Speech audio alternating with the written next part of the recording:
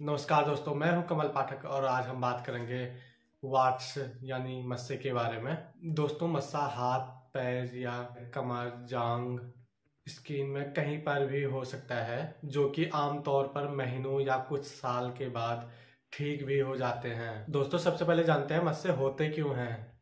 दोस्तों, वाट्स यानी मस्से एचपीवी, ह्यूमन पैपिलोमा वायरस की वजह से होते हैं और यह फैल भी सकते हैं। दोस्तों, यह आमतौर पर फटी हुई त्वचा पर होते हैं, क्योंकि वायरस त्वचा के माध्यम से आसानी से स्किन में प्रवेश कर सकता है।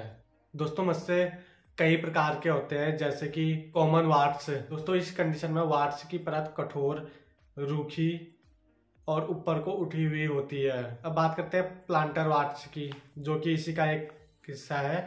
शरीर का वज़न पैर के तलवे पर ही रहता है, इसलिए मस्सा आमतौर पर त्वचा के अंदर ही पनपता है। यह मस्सा काफ़ी कठोर होता है। इसमें कठोर और सफ़ेद रंग के उतकों के बीच ब्लैक कलर का एक डॉट भी होता है। अब बात करते हैं मोजेक वाट्स के बारे में। पैर के तलवे में वाट्स के समूह को मोजेक वाट्स कहा जाता है।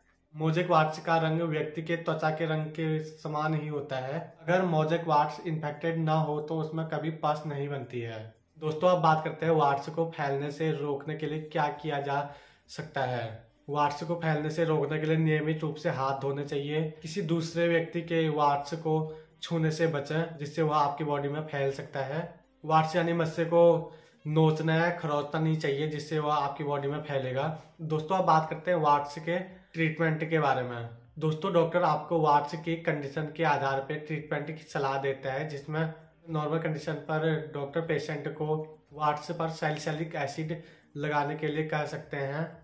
दोस्तों, कुछ मामलों में डॉक्टर फ्रीजिंग थेरेपी, जिसमें डॉक्टर लिक्विड नाइट्रोजन की मदद से ट्रीटमेंट करते हैं, और कुछ मामलों में डॉक्टर लेजर ट्रीटमेंट का सहारा लेते हैं, जिसमें डॉक्टर पल्स डाई लेजर की मदद से स्मॉल ब्लड वेसल को जलाकर इन्फेक्टेड टिश्यू को डिस्ट्रॉय करते हैं। दोस्तों, कुछ मामलों में डॉक्टर सर्जरी की मदद से वाट्स को निकालकर उसका ट्रीटमेंट करते हैं। तो दोस्तों, ये थी जानकारी वाट्स यानी मत्स्य के बारे में। ऐसे ही इन्फॉर्मेटिव वीडियो के लिए हमारे इस चैनल को लाइक शेयर एंड सब्सक्राइब कीजिए धन्यवाद।